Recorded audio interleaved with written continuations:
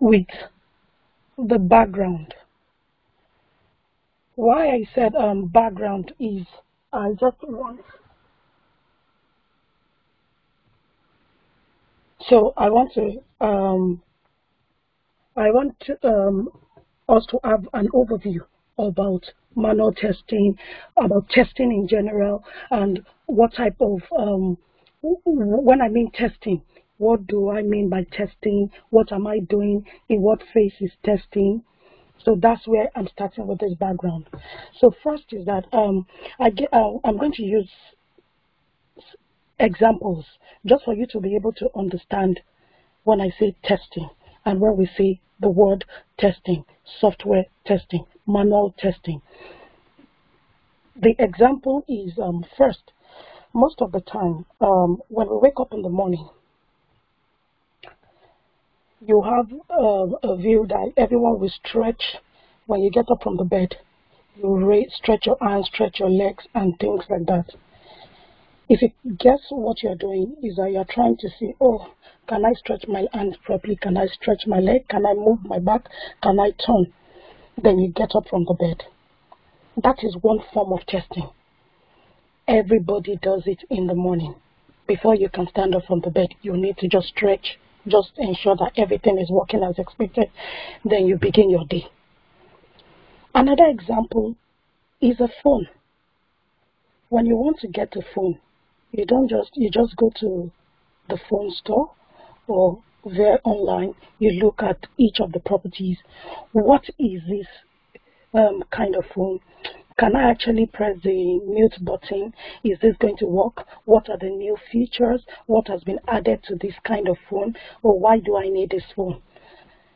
When you look at all the functional part of the phone, then you are actually testing the phone, seeing if it's actually going to meet what you expected, what you actually need the phone for. And also, an example is a car. If you're buying a new car, you would expect to take the delivery from a showroom.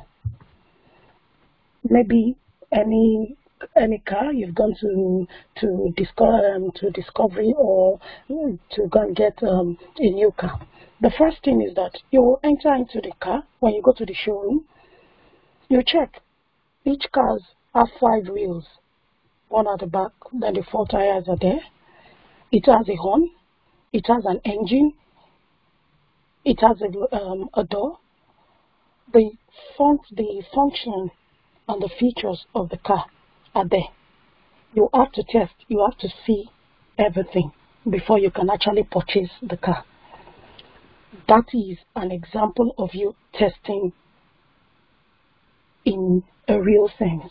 Just using the phone, checking if it meets your expected, what this is what I want to use the phone for.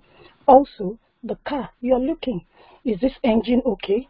Okay do i want a five seater or a seven seater? What are the things that there? Does it have a horn? When i press it is it working? Is the engine kind of okay? Um, does it have um, um, a steering wheel? Nobody can just carry a car and say no there's no steering wheel there or it doesn't have um, wheels the the wheels complete.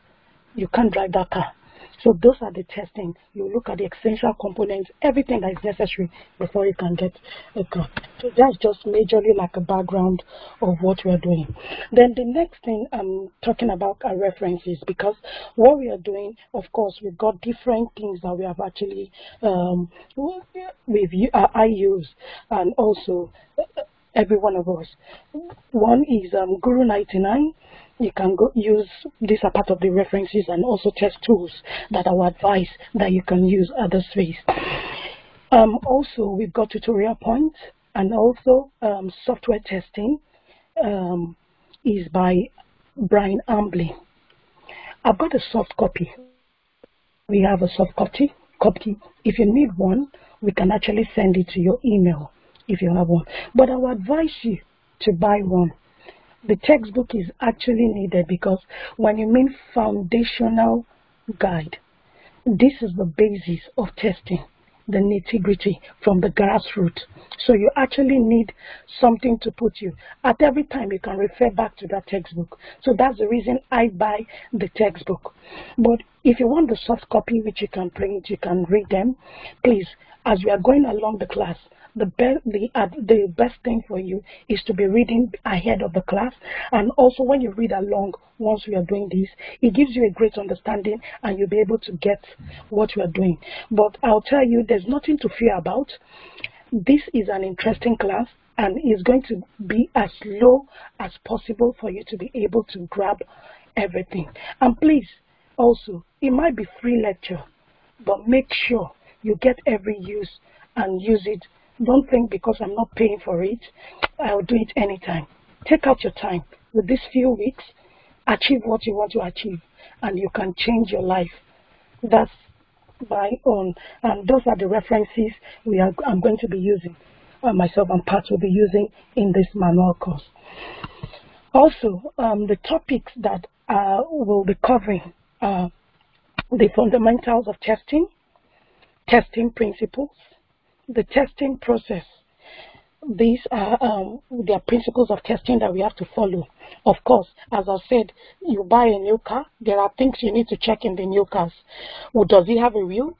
Does it have a horn? Does it have um, a windscreen? I hope I won't be injured. When I drive this car, I hope I won't it won't injure me or I won't die.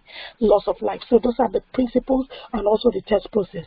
Conduct of um, ethics, um, code of ethics, testing life cycle, interesting parts, test levels, test types, static testing, test design technique, test case design techniques, black box, structure-based techniques, experience-based techniques, choosing test techniques.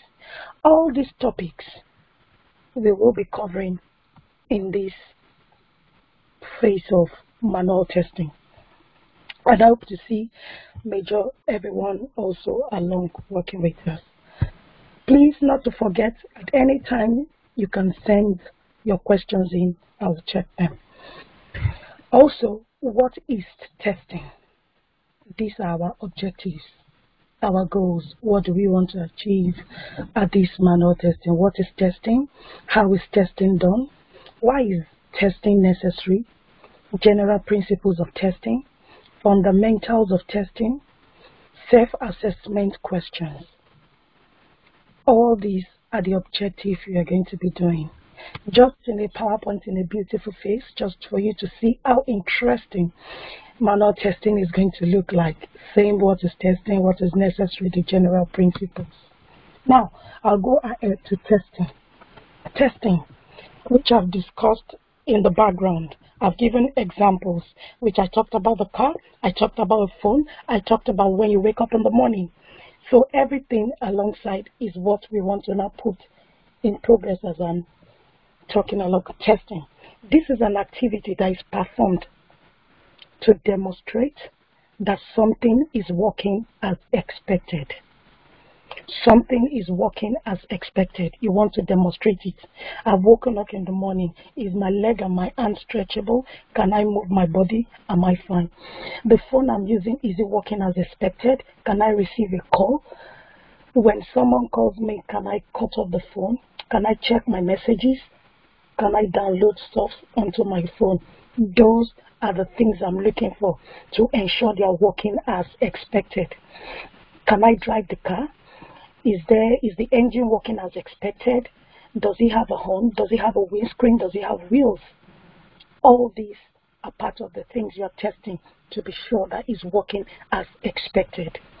So at any phase you want to, you are testing just to demonstrate that it's showing is working as expected. That is what testing is all about. I want to be sure that whatever I'm doing is working. That's the reason why we are testing. Is testing for me? Well, I don't know. Is it for is it for me? Is it for you? Well, let's find out. Yes, testing as a discipline. Well, as a discipline, there are different phases, and I think um, Mr. Digi talked about some types of um, jobs that you can do, what you can apply for when it comes to testing phase, like a QA manager, test engineer, test analyst, everything that you wrote on the board. But who is a good software tester? Who is a good software tester? Someone that can write and is also you can talk that's verbally and also you can write to communicate to people that this is what I found. This is the this is the bug that I have found. This is the defect. This is what is wrong. Now, take for instance, an example is I bought a car. When you press the on and it's not working, what do you want to tell? How do you want to say it out? You can't just say you press the on is not working and you keep you keep quiet. No, you need to be able to explain. Oh, Mr. Man, um, I've done this and I'm expecting that the on should this should happen to the car. When I press the on, it should uh, I should hear the horn, but I'm not. So you need to write uh, be able to speak about that and also write that yes this is what i have gotten just something very simple but people can understand. Whosoever picks it up can actually understand. Then you must have a passion for it. Anything you want to do is worth doing well. So if you want to if you want to do testing as as a profession you have to have a passion for it. If you don't have passion for anything you want to do then you can't go alongside for it. You can't go forward. But if you have a passion, then that's fine. Your technique, technique, your technical skills, technical skills. Uh, Mr. Gigi said something about Java. If you look at it, Java is one of the technical skills and part of the way you can actually, in terms of automation, but your technical skills, you can see, oh, where is this horn not working? This phone that is not, I can't press the, um, I can't cut, I can't press the red button. What is wrong? You must be able to technically find the skills and that is where we are, that is where the automation part of it comes in, and which I'll talk more about it. Analytical skills to be able to analyze what is wrong, um, what are the faces and how do you want to do it. The attitude, your attitude towards it, and how do you bring it out. Also, the productivity. Those are good example of a software tester. You can be a tester, you can be a test analyst, you can be a QA engineer, you can be a test engineer, software tester, more tester, a performance tester, and it's a web tester. As long as testing is is got different phases when we test. Security testing, penetration testing, UAT tester, on and on. We've got series of them. Testing as a discipline. That's the next step. Um, you must be inquisitive, work smartly, think out of the box patience, attention to details. An example is I've gone for an interview. I'll say most recently, yeah, maybe last year. At the interview, after I was told to talk about myself after five minutes, I finished saying a lot about myself. Then I mentioned I pay attention to details. At this phase, when I said attention to details, he paused. I finished, they've asked me all the questions. The only thing he mentioned, I said, you pay attention to details. I said, yes. And what I've learned is that when I'm going for an interview, as I'm entering the office, I start looking around, looking what are the banners there. Um, there might be flower vases there. What did they write on the banner? When I open the door, go to the lift, what floor am I going to? Who is taking me in? This simple attention to details really goes a long way. At the end of the interview, you said you said I pay attention to details. What floor are you doing this interview? Now, this is a big company. I'm not, someone came to pick me, the agency, the agent. After the agent took me up, he was the one that pressed it. It's all automated, so I can't, I don't know the floor. But when I got on that floor, the first thing my eyes was on was 5. So I knew we were on the fifth floor. Immediately, he now said, I now said, okay, the floor we are, the fifth floor. And he shook my hand and said, congratulations, because you say you pay attention to details. So that is where attention to details, patience, think out of the box. X plus Y what are the things outside it? Can I face this um, boundary? Go zero, one. You have to test in different variables, which we are going to talk about further in this testing. Um, now, the next one is who can test?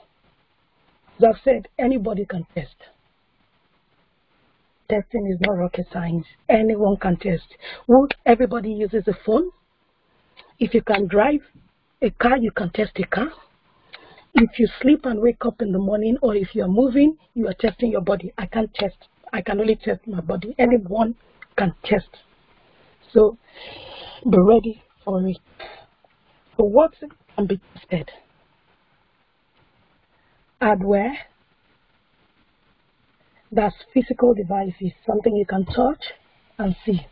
For example, a laptop, you can see it, you can do it, or those are the hardware. Then software, it cannot be seen or it cannot be touched. E.g., like internet browser, of course, we can't see what is behind the code and what they do. The games, you can only see from the front end, which you are actually able to play, play with. So those are what can be tested. Software testing.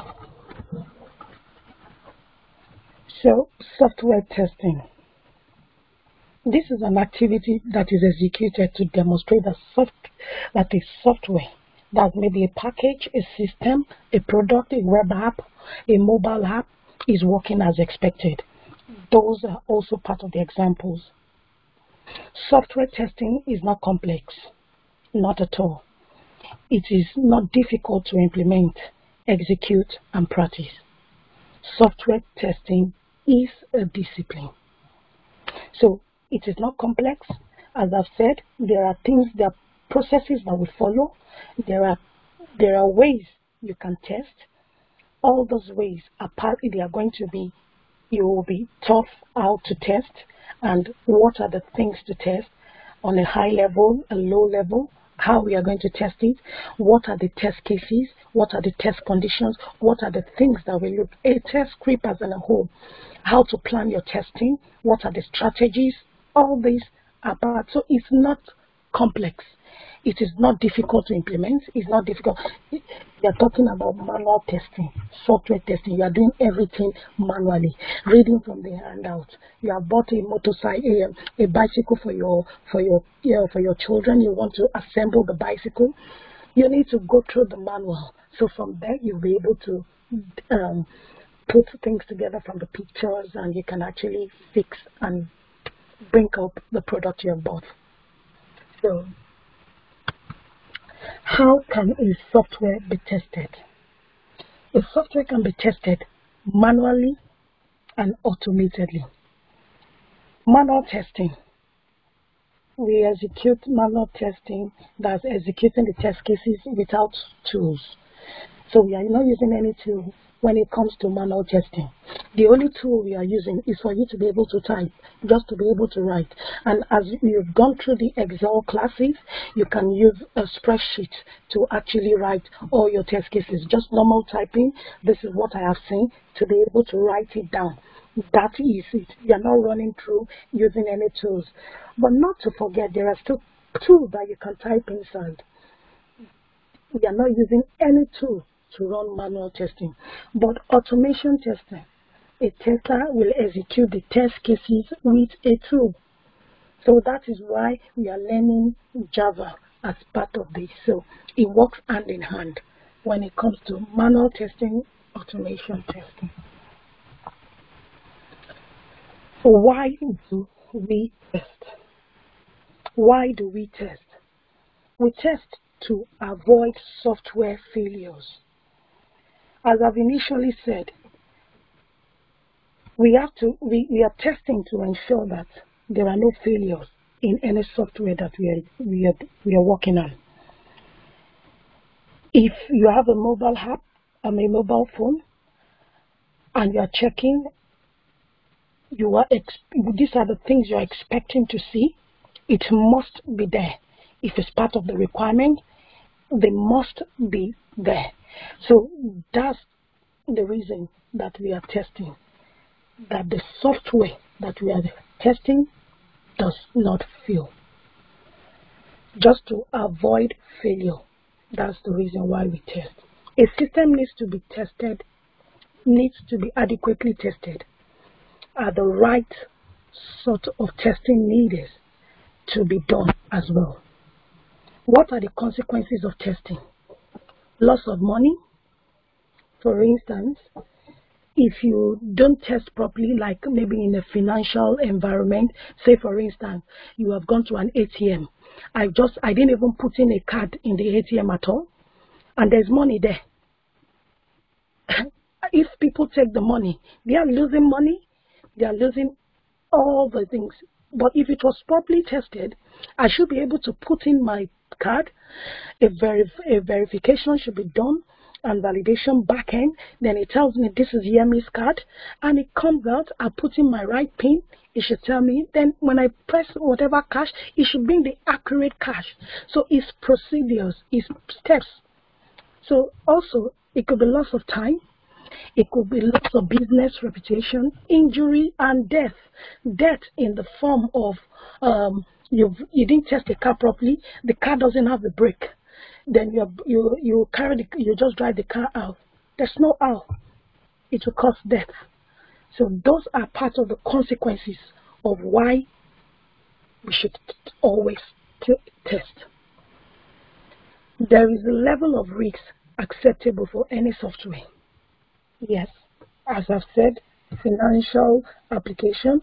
For instance, um, looking at the bank that I said, you can't just see money by the ATM. No, um, e-commerce, we are talking about the website, and also, let's say, airline.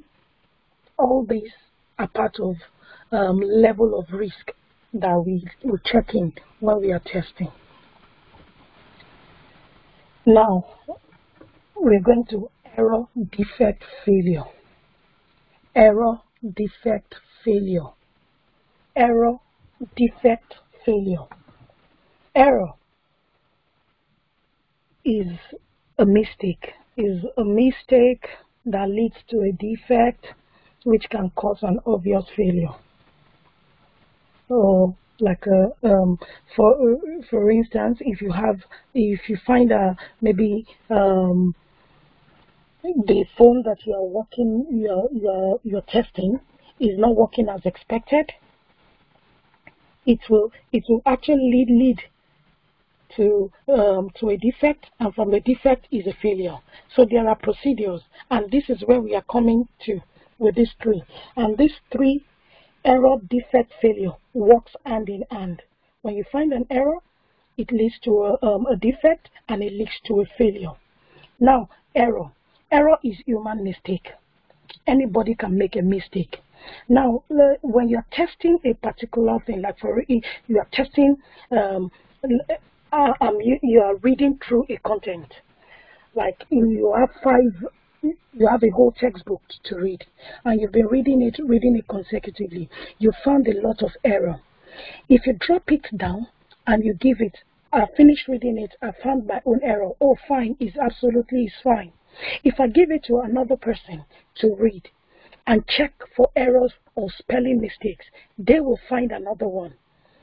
If you give it to a third person, the same person will find an error. So it's always human mistake. You testing, checking often doesn't mean that you won't find um, you won't find a mistake in whatever you're doing. So error is always human mistake. An error appears not only due to logical mistake in the code made by the developer. Anyone in the team can make mistake during the different phase of software development. For instance, in a team, we've got a business analyst, who is the person that gathers the requirements, is the ones that talks to the, uh, the stakeholders. I've gotten to stakeholder A. This is what stakeholder A and B wants. He, he or she has written it down as a business analyst. He has given it to the developer, develop this. And the develop and not to forget is whatever stakeholder A and B tells um, the business analyst, he's going to write as a requirement the requirement that is being given to the business analyst, she, the business analyst also, there might be a mistake there. That's why when you are, once a business analyst gets a requirement, he or she writes down the requirements, send it back to the people that have given him the requirements and say, stakeholder A and B, you have said these are the points that you have made. Is this what you want? Yes or no? He comes back with a yes. Then the procedure is, I've given this, moved it down to the developer. The developer does his own bit, moves it down to the tester. Now, some of the examples of the errors that we find are the business analyst may interpret or misunderstand requirements. So once the business analyst misinterprets or misunderstands the requirements, it means whatever is coming down from the developer to any one of us is all misinterpreted. So that is already an error, is a mistake because there was no, it was the understanding of the BA every one of us were working with. So once is the mistake is made from that point, then there is an issue. And that is where testers comes in. So as a business analyst, when you when you write the requirement, you send it to the SM, um, to the SMEs, that's the stakeholders. When you send it to the stakeholders, they now come back to the tester, the business analyst. Can you check also if there's anything we are losing? Maybe there's a gap or there's a risk in whatever we are doing. We also test. You can test requirements, check check whether you understand what the person is because it's a requirement. When you are given a requirement you should be able to understand whatever the person is giving you. That is why you that is what you are going to test based on. Then the customers may provide insufficient or incorrect information. So customers also might provide insufficient or incorrect information. That's at the level of mistakes that you can some errors that you can make the architect may also uh, cause a flaw in software design. That's the um, so all the the architects, the developers, and thereabout, they might have a flaw in the software design.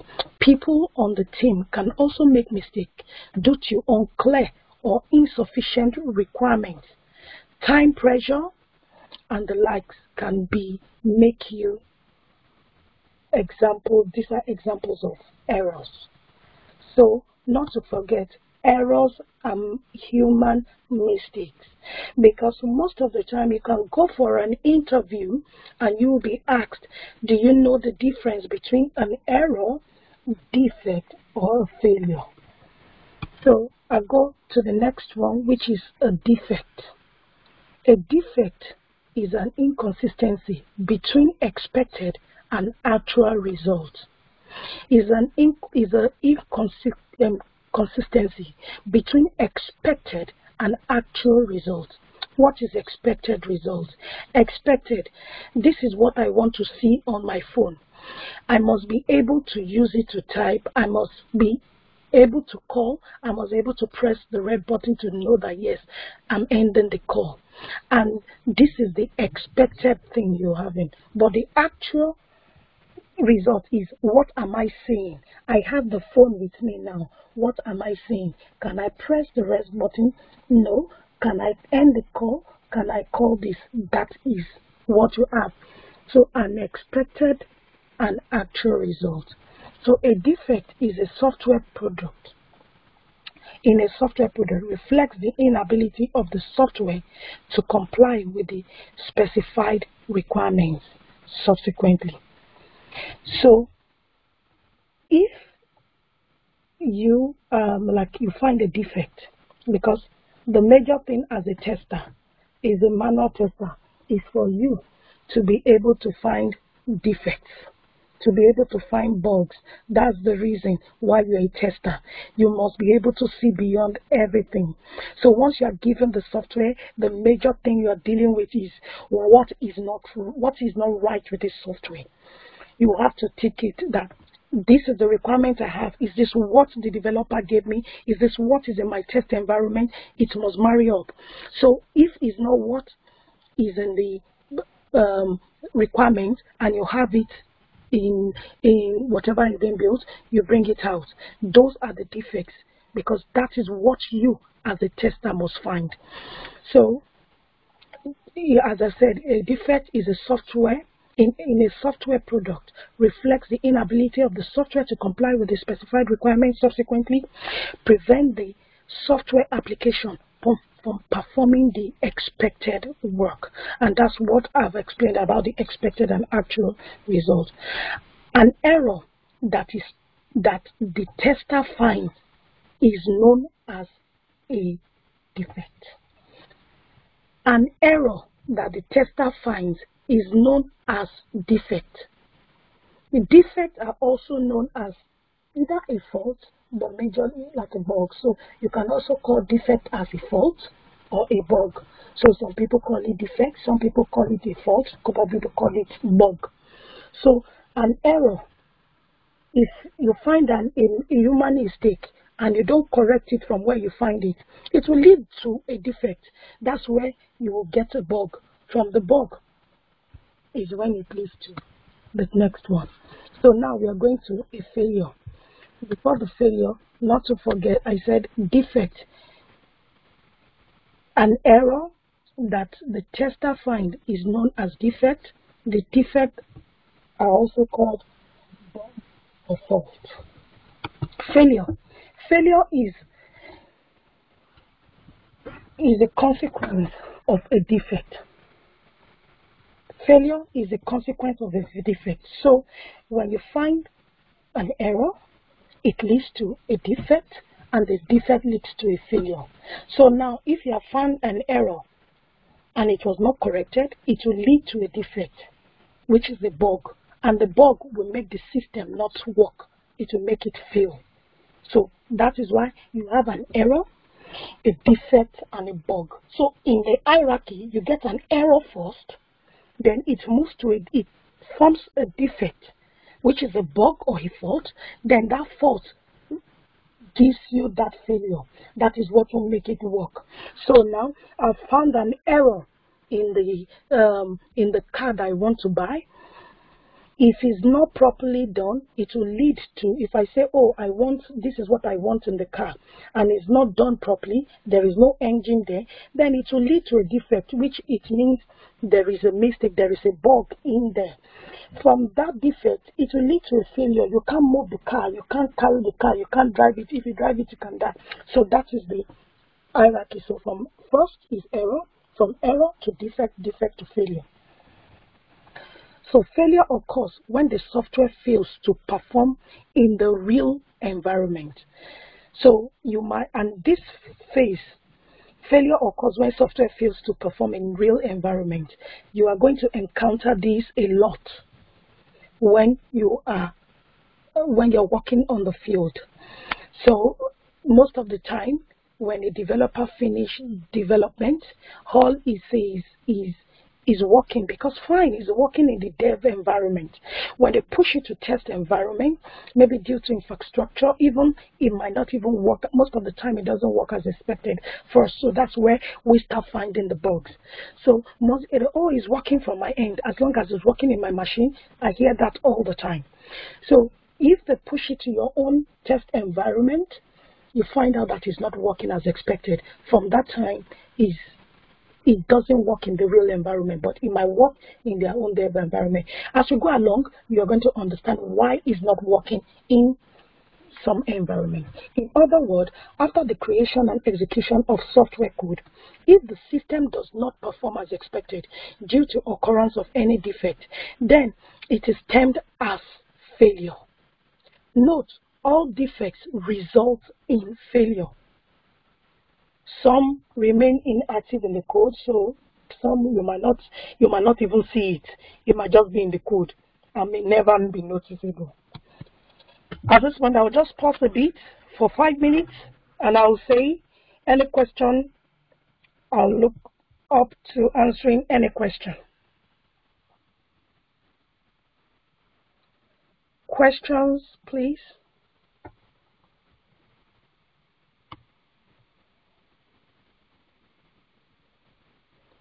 Questions, please. Can we classify it? Can we classify, someone said, can we classify testing as DevOps? When you mean can we classify testing as DevOps? DevOps is a different is a different um, department on its own. So, okay, when they, when I mean DevOps is a different um, department on you, you can test on that DevOps. So there are things that you can talk about the infrastructure, the configuration, all this, you can do your testing on that, that phase. So that's where, um, when you mean can we classify system testing as DevOps, um, in quotes, maybe you are thinking testing is um, DevOps. You can test it in um, DevOps is another is another tool, and that's why the Azure DevOps are coming in. It's just a training for you to be able to use. It's a tool, and also you can. It depends on the infrastructure, so I can't say I can classify testing as DevOps or not. You have to test everything. That's it.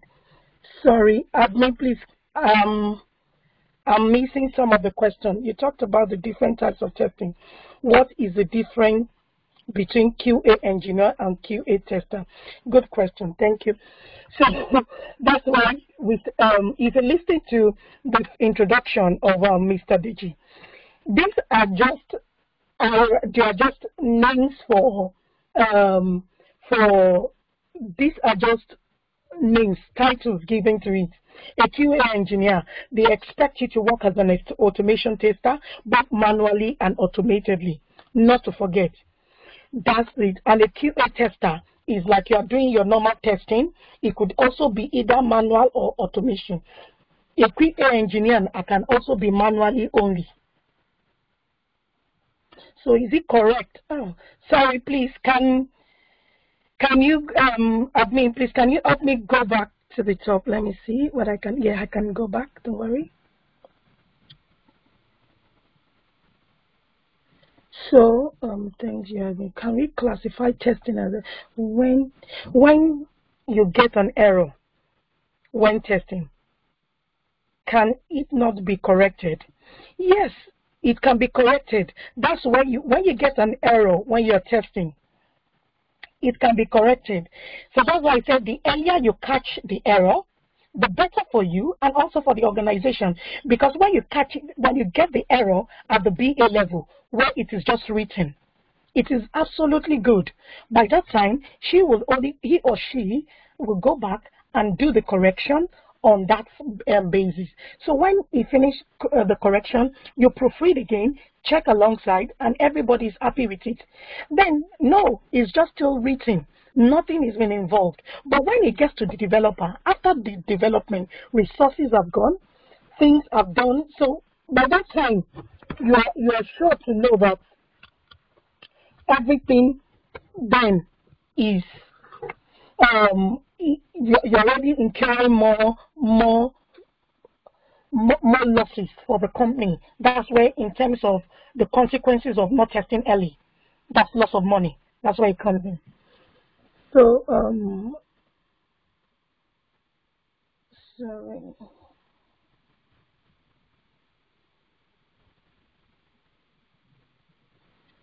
Um, sorry, I am.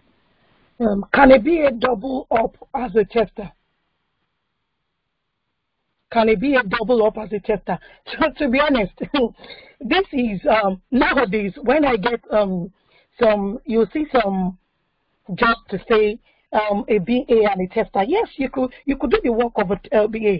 It's gathering requirements. You you must be able. That's I said attention to details. A business analyst is getting what everything you are telling him. In this mobile application, look, let's take for instance an iPhone or maybe like an Android phone. You started with maybe Samsung um, J5. There's a new one, Samsung S5. Now tell me, it's still same Samsung. There's J5. The next one is S5. What is the difference? Maybe they add just a new feature. You need to get that feature, add it to the thing. So attention to the details, to details are kind of majorly. So you can you can also work as a BA.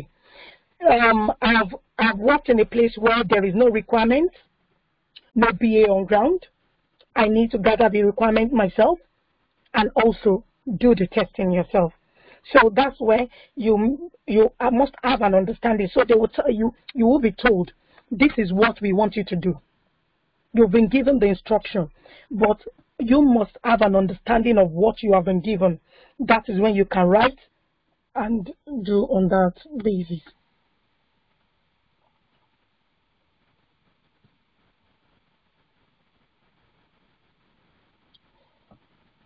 Please can please what kind of textbooks will you recommend for software testing as i said in the um, in the second slide um, for the software testing um, second slide, I said software testing is written there um, on ISTQB ISEB Foundation Guide by Brian Hambling. Just Google Brian Hambling's name, then you can get the textbook.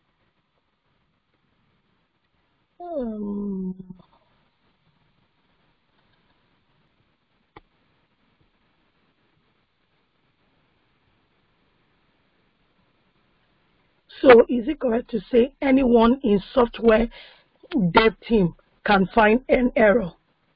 Hmm. anyone in software develop, someone asked a question to say, so is it correct to say anywhere in the software dev team, that's the development team, can find an error? Error has different levels and stages. So yes, anyone can find an error.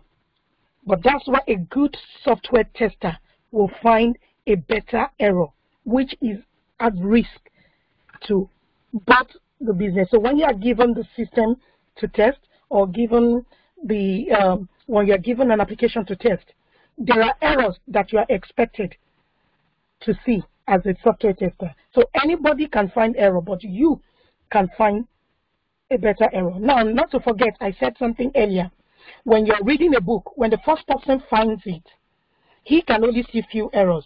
When the second person does, he will find another error. You as the third person will find a better one. So that's the way it's done.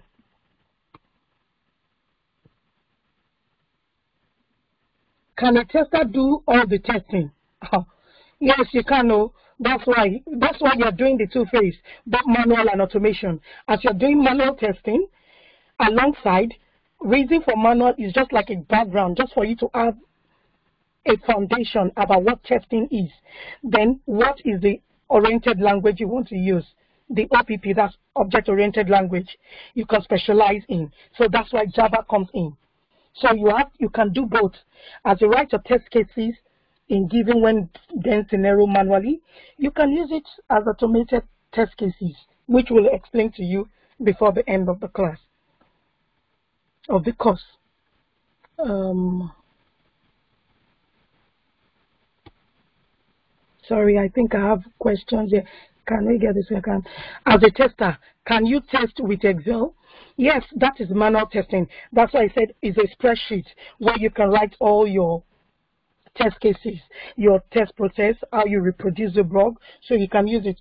In some um, companies that they still do the native way, so which means everything you're writing, you can do it on that spreadsheet and you have a template which you can work on. In software testing course, will there be talks about the different software testing methodology? Yes, there will be. And I think before, if we can cover it today, if not, by end of the class is yeah yes we are going to talk about all the methodologies and that's why um, that's part of it yes we are going to talk about the methodology. Does javascript have any relationship with testing? Absolutely. It does have a relationship with testing. Javascripting that's where all the testing when you're testing web application you're seeing some javascript errors and the like so it comes alongside with testing. Great. All testing all testing means security testing, web testing, regression testing, etc. Yes, yes. So what you what you mean is um, all testing means security testing, web testing, yes, app testing, regression testing, retesting of bug fixes, functional testing, non-functional testing. All those are the principles of testing. Do anyone need to be technically surveyed to become a tester? Not at all. That's why you're building up. You have started now. You're list, you're, you started as manual testing. Anybody can come into testing. There's still manual testing job. We cannot do 100% automation. Manual tester are still viable in the market. So everybody, you, you don't do, you need to be technically to become a tester. No. And that's why I said anybody can test. So that's the way it is. So in the absence of no question, I'm just checking again if, um, let me just see again, even, okay. The, the textbooks, I've said it earlier, that if you need a soft copy, just send down your email to um, Mr. Deji, you'll get the software. So as I go alongside, I've got a question. So someone can just please um, answer. What are the what is the difference between error, defect, and failure? Anyone going? Error, defect, and failure.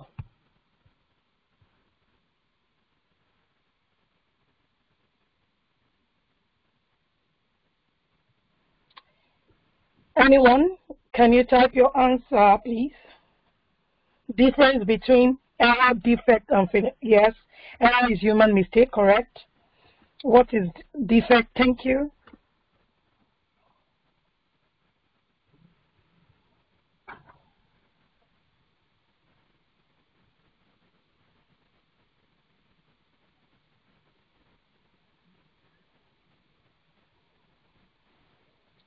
Yes.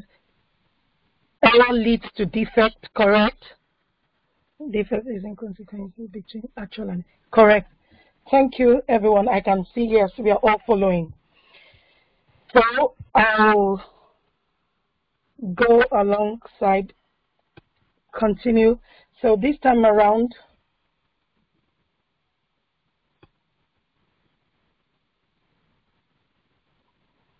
so um, the next one I'll be talking about is keep software under control. Keep software under control. Exhaustive testing of complex system is not possible. Now, that's why um, when they tell you, oh, exhaustive testing of it is not, is not possible. You can't, when you're given a system to test, you can test everything within the coverage, and that's why you have in another um, another phase where we are going to talk about how you're going to do the boundaries, how you will be able to know that this is how it's going to be tested. When when we say exhaustive testing of complex system is not possible, what is done is in some companies you're given like um, a yardstick that where is this when we mean we finish testing I'm sure that yes, this system is fine. I can say it's fine, and I'm happy for it to go um, go live. Is you must meet 85% of this checklist. So there is a checklist to be able to validate that yes, we have done it. Now, if you have tested and you look at it that out of maybe 10 of the list that they've given you, the company's strategy is if it meets 85% of it, that testing can be done. We can release it. We'll sort out every other thing when it gets live. Now you have tested as a tester. Maybe you test, and maybe six of it is what is in the in the checklist that I've gone through. You will know that yes, at that phase, you can't give it a go to say yes, it's done, because that time you have um uh, is not up to what the standard of the company is. But some companies don't give a yardstick. They expect you as a tester to know when it is ready to test. So we are going to talk intensively when we get to that um, to the point of this. So exhaustive testing of complex system is not possible. So you can't say I can test everything. No. But you will test in a analytical and um, a realistic way to know that yes, this is what has been achieved. If every test has been run, testing will go on for a longer time and products may never get into the market. So what you are saying is that if every test has been run, testing will go on for. So if you are saying that if I want to do exhaustive um, testing to make sure that this complex system is is is done. I want to start checking. Um, is the first page okay? When I log in, is this what I'm finding? Um, the text, are they okay? You, if you do it continuously like that, we can use years to check. I can test a whole system for a year. Now, not to forget, you've got you've got um, uh, deadlines. You have to meet the deadline. So if you don't meet the deadline, so what is the essence of you as a tester being there? So that's the reason why you have to test within some capacity, within some range, within some boundary using some some techniques to be able to do, to to do your testing, and we'll talk about that. Is it possible to run? It is it possible to run every possible test, simple or complex system? We'll talk about we'll talk about that. With large um, and complex system, it is never it will never be possible to test everything exhaustively. In fact, it is impossible to test even moderately complex system exhaustively. So that's why it's trying to tell you that you can't test everything, but you can be sure you have touched every phase. And I will we will explain to you when we get to that bridge. So when is testing enough? Testing and risk, testing and quality, deciding enough when enough is enough. So now, at this phase, we are talking about testing. When is testing enough? When will you know that, yes, it's enough for me to stop testing? When is the right time for me to stop testing? So it comes with that.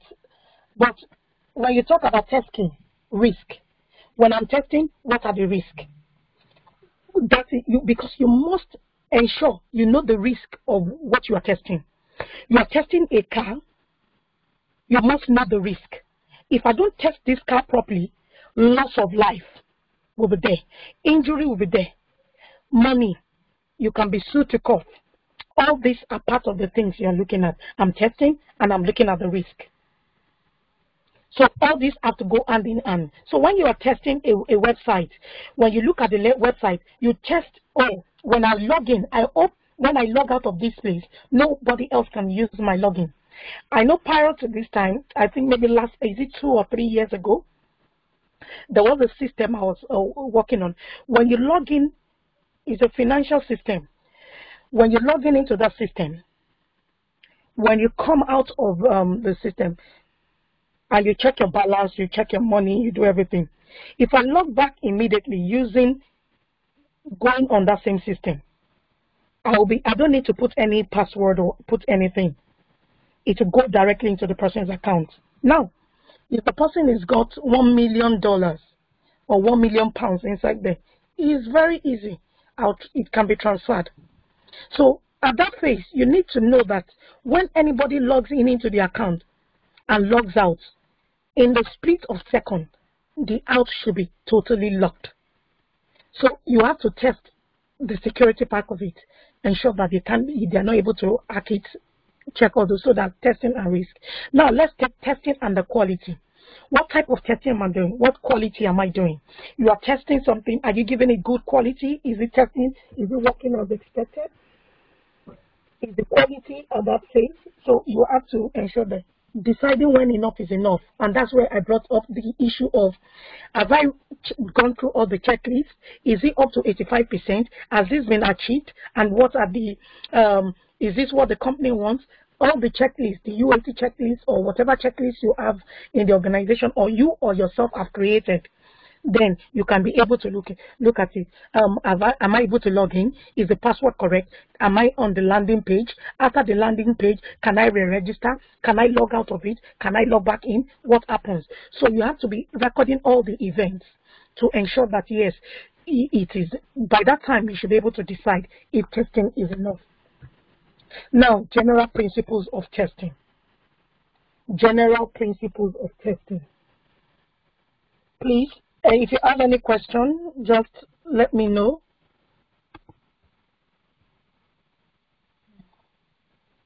What is the secret for begin, begging, beginning getting a job as a tester? Um, before I go along, I'll just take a Q&A because I think some questions are up here. So um, it says, what is the secret for beginning getting a job as um, getting a job as a tester. This is the secret. The secret is you knowing software testing. That is the first secret, and that is where, if you are, for you to be in this chat, it means you have been listening to um, to the class right from the beginning. So this is the secret you have started. But now, the getting a job is you now being able to know how to be able to communicate and relate whatever you have been taught at the end of this course. So that's where the good software tester ish, um, role comes in. Sorry, I'm still failing on default. By the checklist, do you mean the exit criteria? When you mean exit criteria, is we have entry criteria. How do I start testing and when do I stop testing? Checklist is kind of a different is is is is a different format. It comes in different format and it depends on how you how your or your organization or yourself see it. I call entry and exit criteria a different model. A checklist is a face, is a picture what do I want to see? What is expected? What does the business want to see at this? A logical thinking, analytical thinking of everything must be put in the spreadsheet. How I do my things. Now, I look at what has been done. I will map it out with each of the requirements. Requirement A, do I have it in the checklist? Yes. If it's there, if it's not there, I will add it. Requirement B, that is the way you do the end so when you mean exit criteria, we are coming down to that. Not now. So I won't want to push that. I'm still talking about checklist now. So I will want to push that forward now so we don't take so let me go again. When can a test be concluded and pushed to live environment? Now, um, at this um, at this phase, a test. That's why we are saying um, we will decide when enough is enough. That's when you will know when a test will be pushed to live environment. Not to forget, before you start, a developer pushes to test environment. When you do, your organization have different levels of test environment. You as a tester also can decide what levels of environment you can have. You can have a test environment, a system test environment. You can have a UAT environment, which is a pre-prod environment. That you cannot have a production environment. Now, in test in test environment, you have the the raw test delivered to you in test environment. You test the nitty-gritty.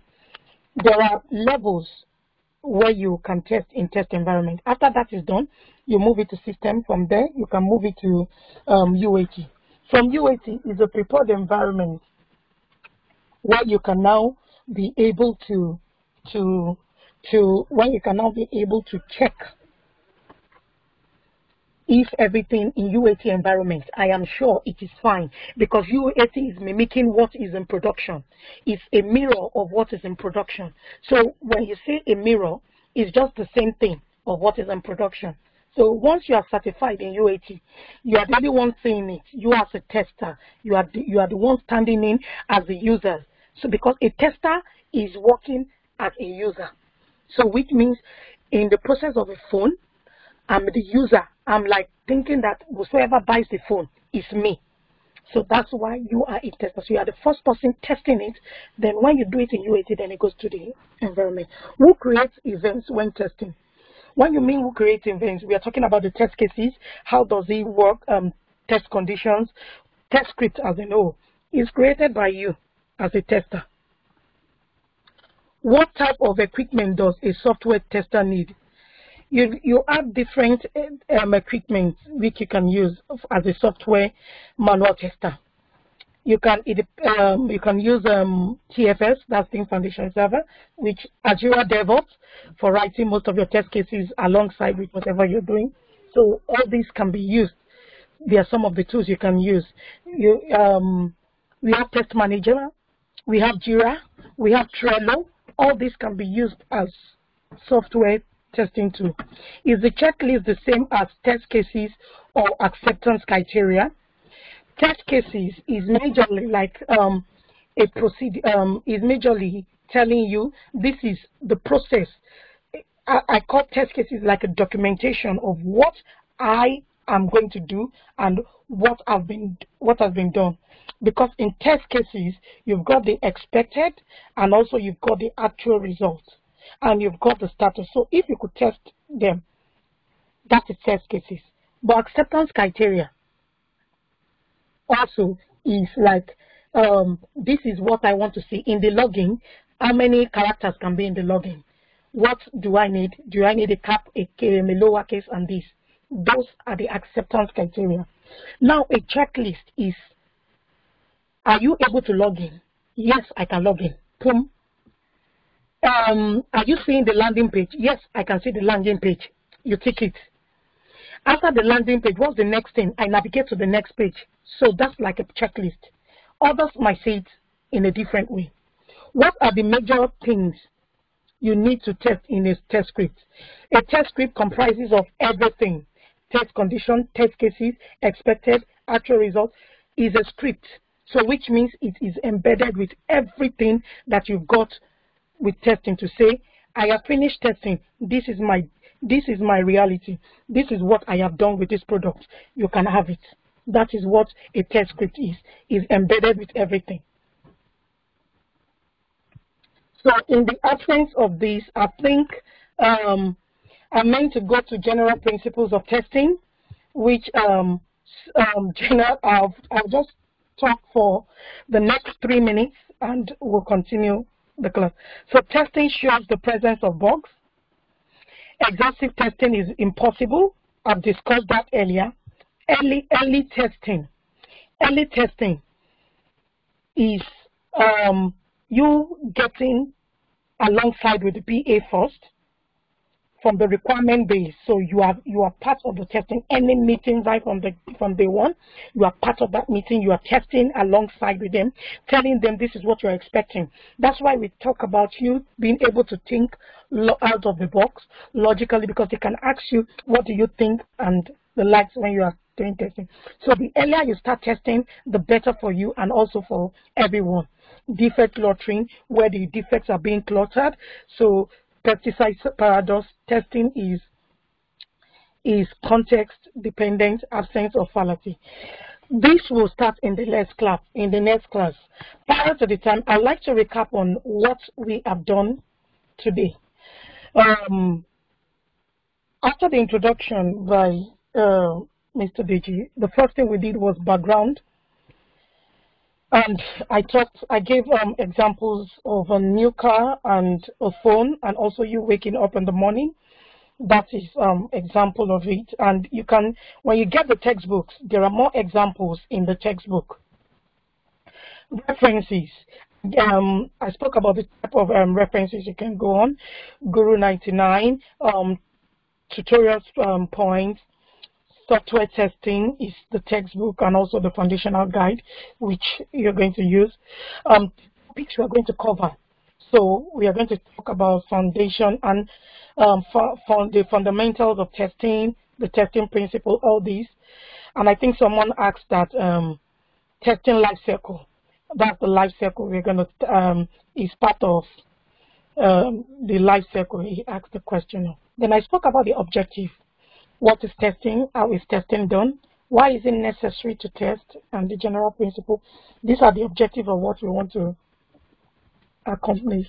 So I started with what testing is. And I said is the activity that is performed to demonstrate that something is working as expected. Also, I said it's testing for me. Now we found out that testing is for everyone. So the good software tester, and that's where I mentioned everything that has to do with the verbal and written communication, passion, technical skills, analytical skills, attitude, and productivity. So testing as a discipline and all the others that um, a tester, a, a QA engineer, a test analyst, all these are there. Then testing as a discipline. Then who can test? Anybody can test. It's not rocket science. So we can test. What can be tested? Hardware and software. Also, software testing. I just embedded to just say it is not complex, it's not difficult to implement and execute. As you have seen, everything I've been saying is not, is something that anything to be tested has been created. There's nothing new. The only thing is that you are just getting an additional, so you can get your materials from anywhere. So you can be, it could be experience based anyhow. So you can get your materials to be able to test. And how can is can a software be tested? I said manually and automatically. But we are doing manual testing now, and that's why you are in this course. If you want to move ahead, you are going to do automation testing. That's where the Java class comes in. Why do we test? Which I said the reason why we test and the consequences if it's not tested um, properly, loss of life, loss of money, loss of time, loss of business, reputation, injury, and death. So also the risk. Then I thought, which I emphasized majorly on, error, defect, and failure. Error is human mistake, and I think most people got um, got it from what I saw, which I said the hierarchy is from error, defect, and failure. Um, same thing, I gave examples of error. Um, I spoke on um, defects and other names that defects can be called are faults and bugs. Failure. Mm, then also I've started um, the keys, um, keeping software under control. So um, when is testing enough? All this will be brought more on the next class. In three minutes, I'm open to any other question. Then we call it a day for this class. And hopefully, if Patricia have anything to say, she would take on. So um, let me just read out some of the questions I have here. Can tester work remotely for clients or is it usually a full-time job? Yes, you can work remotely. When you mean for clients, clients are kind of, um, if you mean clients, maybe you're working in a company and um, the organization you're working for has a client. You don't need to see the client. You, you only thing with your work, when you're doing your work, you just give a go ahead to say is there. Then they will switch off the button. They can test from their own side. So that's the way it's done. So um, so you can work remotely for a client. Um,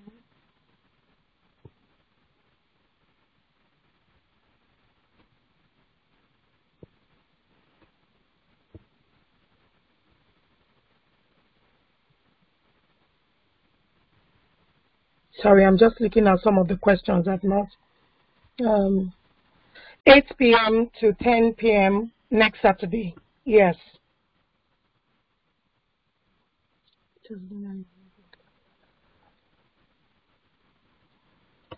All right. In the absence of no question, uh, yeah, so we call it a day. From next class, um, I just um, want every one of us to recap on what we have done. So next class is kind of um, push you so that we can just get more on the session. But it's an interesting time.